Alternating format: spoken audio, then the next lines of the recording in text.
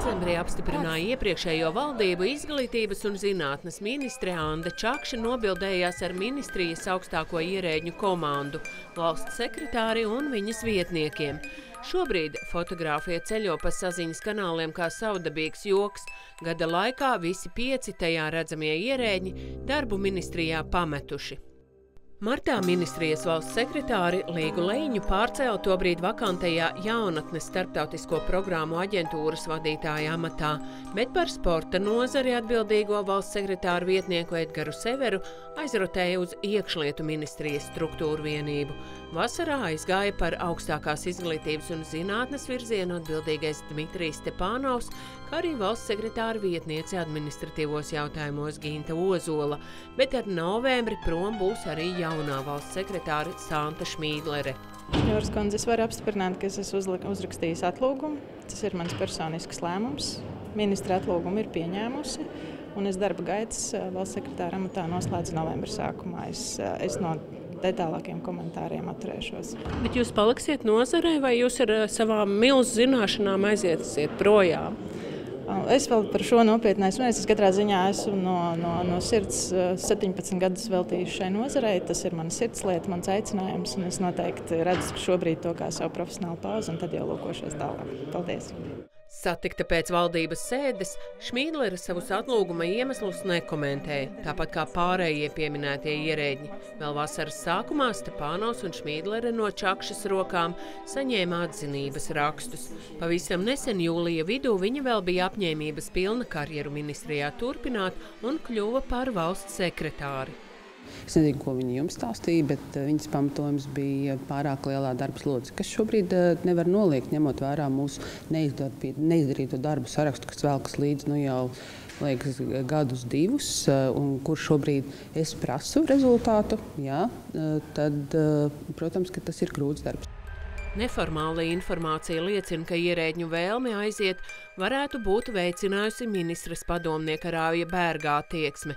Viņš nenoliedz, ka šādas sarunas ir bijušas.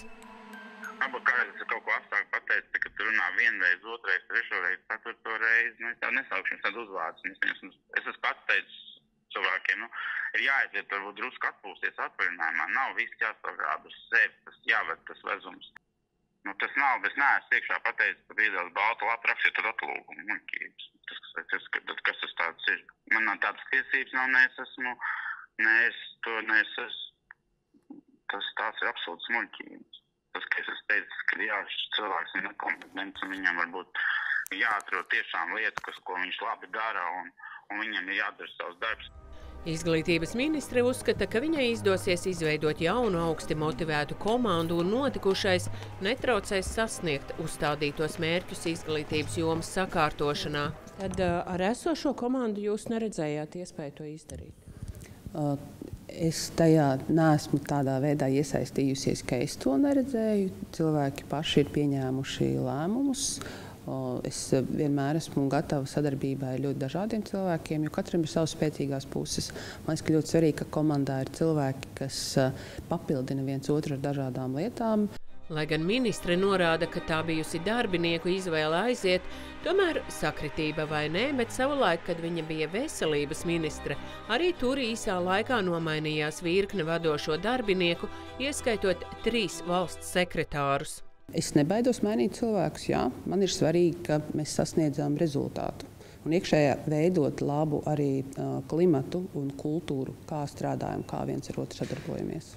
Veselības ministrijā, kas ir vēl viena šīs valdības prioritāte, valsts sekretāri mainīti ļoti bieži, un tagad amats ir vakants jau kopš gada sākuma. Izsludinātais konkurss varētu noslēgties decembrī. Jaunais veselības ministrs Abu Mērī atzīst, ka bez valsts sekretāra strādāt ir grūti. Nu, mums ir eh, arī problēma ar kapacitāti ministrijā. Tad, tad darbinieki īstenībā ir nepieciešama skaidra vadība, uz kura pusi mēs ejam. Un e, šobrīd e, mēs to darām, mēģināsim gan no ministra biroja, gan arī ar, ar valsts sekretāri PI, no Aigā Balodi kundze ļoti labi iet, bet e, nu, nepieciešams cilvēks, kurš jau no rīta līdz vakaram sēž un sako līdzi visu. Mhm. Bet es domāju, ka decembrī tiksim pie jaunu. Šobrīd jau ilgāk nekā vajadzētu ir vairākas vadošo amatu vakances valsts pārvaldē. Arī tādēļ, ka konkursā tur nav izdevies atrast atbilstošu kandidātu. Augstas prasības kopā ar lielu slodzi un zemu algu var būt slikts komplekts, lai sekmīgi un ātri aizpildītu vakances izglītības ministrijā. Tajā ierēģņu algas aizvien ir zemākas nekā citur. Turklāt, ja vidēji valsts pārvaldē vakances turas ap 10%, tad šobrīd izglītības ministrijā tie jau ir 17%, kas ir vairāk nekā 40 vakanču.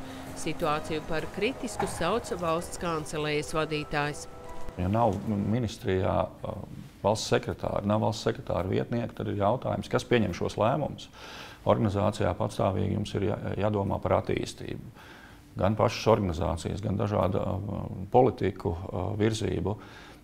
Tas faktiski kļūst jau kritiski, ja nav šo personu, kas spēj vadīt un pieņemt atbildīgus lēmumus. Tad ministrija darbojās tādā gaidīšanas režīmā bieži vien. Saskaņā ar šīs valdības iecerēm izglītības nozarē jāsagatavo visai būtiskas reformas, kas skar gan skolotāju atlīdzību, gan programmu finansēšanas modeļu maiņu un kas būtiski uzlabot arī mācību kvalitāti. Ar premjeri par ierēģņu aiziešanu no ministrijas nav runāts. Šobrīd valdība tikko ir sākusi strādāt.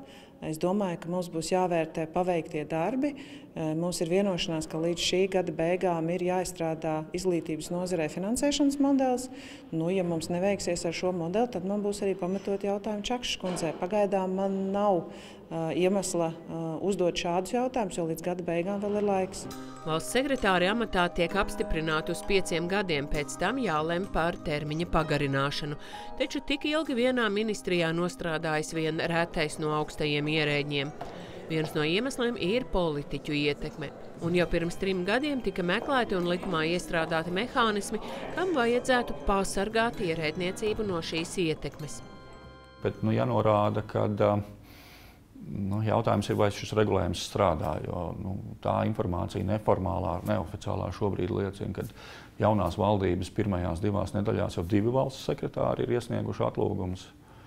Līdz ar to jā, tie jautājumi, protams, rodās, kas katrā konkrētā gadījumā ir noticis. Tur valsts sekretāri bieži vien nevēlas runāt publiski par, par tiem iemesliem, kādi ir vai nav bijuši.